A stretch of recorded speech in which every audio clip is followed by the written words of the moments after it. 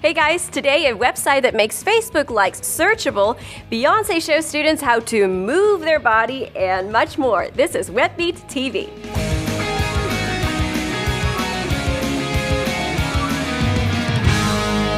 So, Facebook Like has been a huge success ever since it launched a little over a year ago. It's widely used on Facebook, but also on other websites.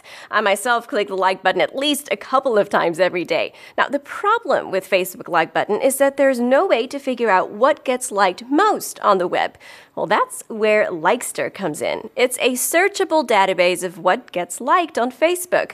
When you log in with your Facebook account, Likester can show you what is trending today, last week, and last month. And it also personalizes it for your group of friends. You can see what your friends just liked, top liked sites in a specific location, or what a specific friend liked. This might not only be interesting for the average Joe, but for businesses and brands as well. Okay, Moving on, something else I came across and liked is this video. A dad uses the web, his email account, to share memories with his growing daughter. Are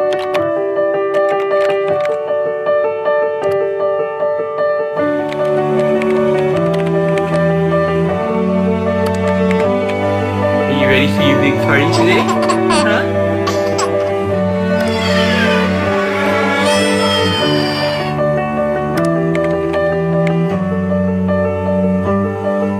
Cute, like a digital scrapbook.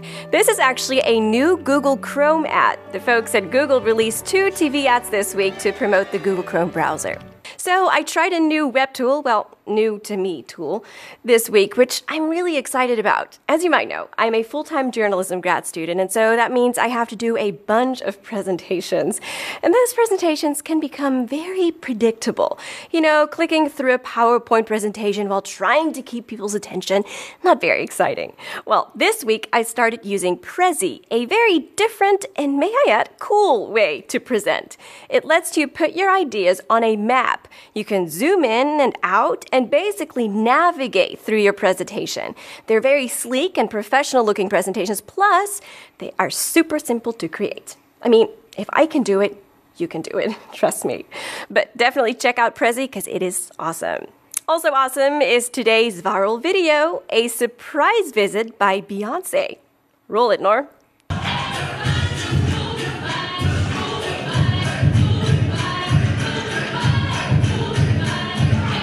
These students at a New York school are in the midst of practicing their dance routine to move your body.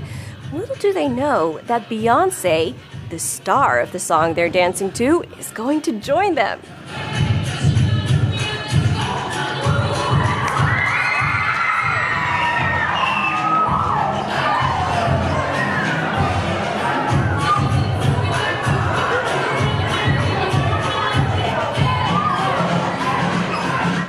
And the website of the day is Monkey on Your Back. If you're sick of to do lists for yourself, maybe try to spread the burden a bit. Monkey on Your Back is your to do list for what you want other people to do. Very smart. You create a monkey for every task you want to delegate to someone else. The person will get an email reminder about the task, and you will get an email reminder when the deadline for the task has expired. Great if you're working on a bunch of projects or if you're a super controlling parent or spouse. That just gives me an idea. I'm just kidding. And real quick, check out my new addiction and the website everyone has been talking about, Empire Avenue. Go to webbeat.tv slash Empire Avenue to check my review. And Webbies, that's it for today. Thank you for watching. Please make sure you like our Facebook page. I put a bunch of behind the scenes pictures on there and giveaways, so you don't want to miss out. Do it. Hello. Hello, is creepy?